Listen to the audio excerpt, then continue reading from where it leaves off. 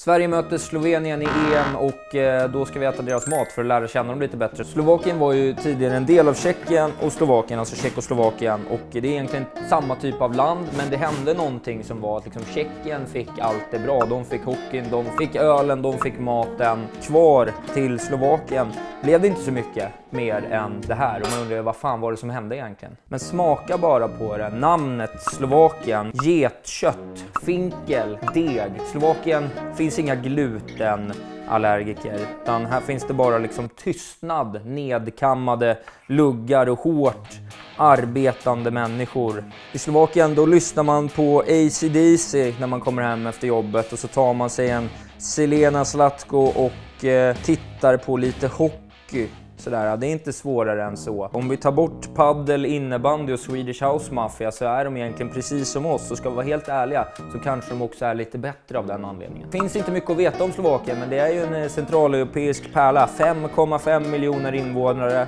berg i norr, slättland i söder. Huvudstaden Bratislava, känd för en kyrka som är blå och en gubbe som kommer upp, eh, tittar upp på marken som en staty. Så det är ingen världsmetropol direkt.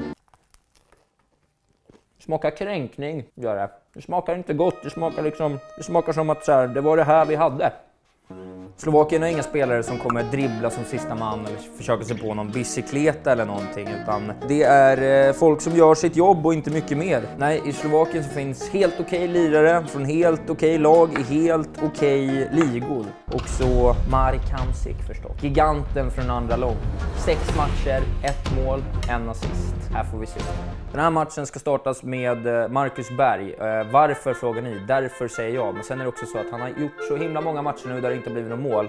Om det är någon gång det ska bli, ja då är det väl nu mot eh, Slovakien. Vi ska vinna mot dem i deras egna spel och då behöver vi Marcus Berg där framme. Han kämpar, han sliter, han skjuter på allt. Han håller inte på och sjåpar sig med finter och sånt, utan det bara är skott på mål utanför ofta, men ibland även på mål. Och den här gången, ja, då kommer det bli minst en balja av Marcus Berg, så enkelt är det bara. Nu ser det ut som att jag gjort en vegetarisk variant av en sån här macka, men eh, så är det inte, utan det hade först och främst inte Slovakerna gått med på, framförallt inte Marcus Berg heller, så jag eh, ser det här som en hyllning till hjälten i matchen mot Slovakien.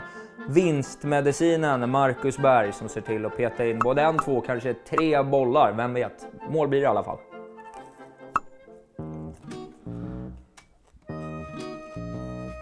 Vad äckligt. Ja, nej. Så kommer jag nu Janne, byt in Marcus Berg eller låt honom spela från start. Han kommer göra tre baljor minst, det lovar jag. Vad tycker ni där nere i kommentarsfältet? Har jag rätt eller har jag fel? Låt oss höra. Heja Sverige!